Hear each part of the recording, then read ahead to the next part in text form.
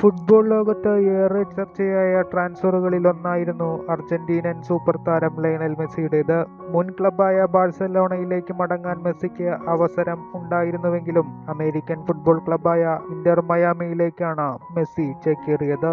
ഇപ്പോഴിതാ മറ്റൊരു സൂപ്പർ താരമായ നെയ്മർ ജൂനിയർ പി എസ് ജിയിൽ നിന്നും മുൻ ക്ലബായ ബാഴ്സലോണയിലേക്ക് മടങ്ങുമെന്ന റിപ്പോർട്ടാണ് വരുന്നത്.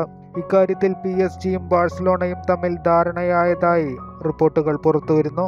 ഖത്തറിന്റെ ഉടമസ്ഥതയിലുള്ള ബീൻ സ്പോർട്സ് ജേർണലിസ്റ്റാണ് വാർത്ത പുറത്തുവിട്ടത്. റിപ്പോർട്ടുകൾ പ്രകാരം നെയ്മറുടെ പ്രതിഫലമാണ് നിലവിലെ പ്രശ്നം. സാമ്പത്തിക പ്രതിസന്ധിയിൽ വലയുന്ന ബാഴ്സയ്ക്ക് നെയ്മർക്ക് വേണ്ടി കനത്ത തുക ചെലവാക്കാൻ സാധിക്കാത്ത അവസ്ഥയാണ്. അതിനാൽ തന്നെ നെയ്മറെ ലോൺ അടിസ്ഥാനത്തിൽ സ്വീകരിക്കാനാണ് ബാഴ്സലോണ പദ്ധതിയിടുന്നത്. ഫ്രഞ്ച് ആരാധകർ എതിരായതിനാൽ നെയ്മർ പി എസ് ജി വിടുവാൻ സാധ്യതയേറെയാണ്. അതേസമയം മുൻ ബാഴ്സലോണ പരിശീലകനായ ലൂയിസ് എൻട്രിക്കെയാണ് പി എസ് ജിയുടെ പുതിയ പരിശീലകനായി എത്തുന്നത്. ബാഴ്സലോണയിൽ എൻട്രിക്കിന് കീഴിൽ മികച്ച പ്രകടനം നടത്തിയിട്ടുള്ള താരമാണ് നെയ്മർ.